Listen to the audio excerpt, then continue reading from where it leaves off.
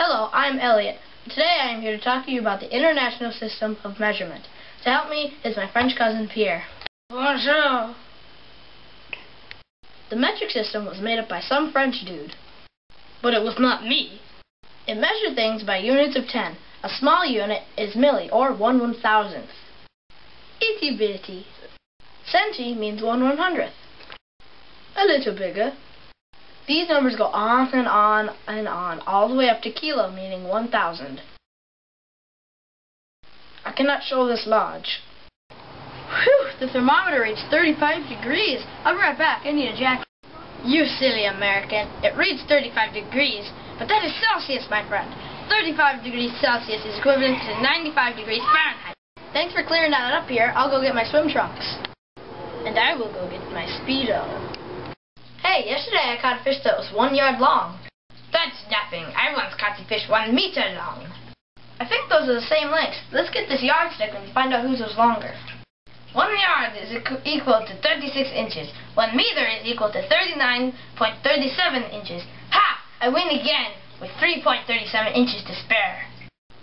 Hey Pierre, do you want to go buy some pop? Do you mean soda? Why sure. Should we buy a six-pack or a two-liter bottle? Which has more volume?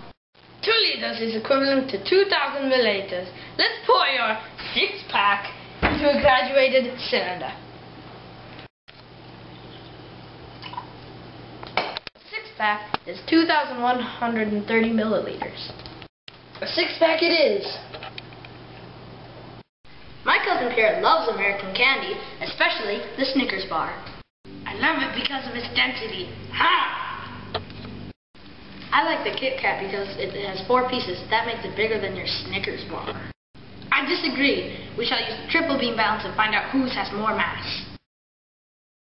My Kit Kat bar weighs 40 grams.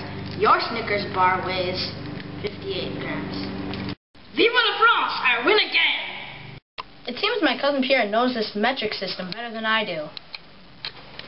Oui, oui. But he still has a lot to learn about Trojan pride.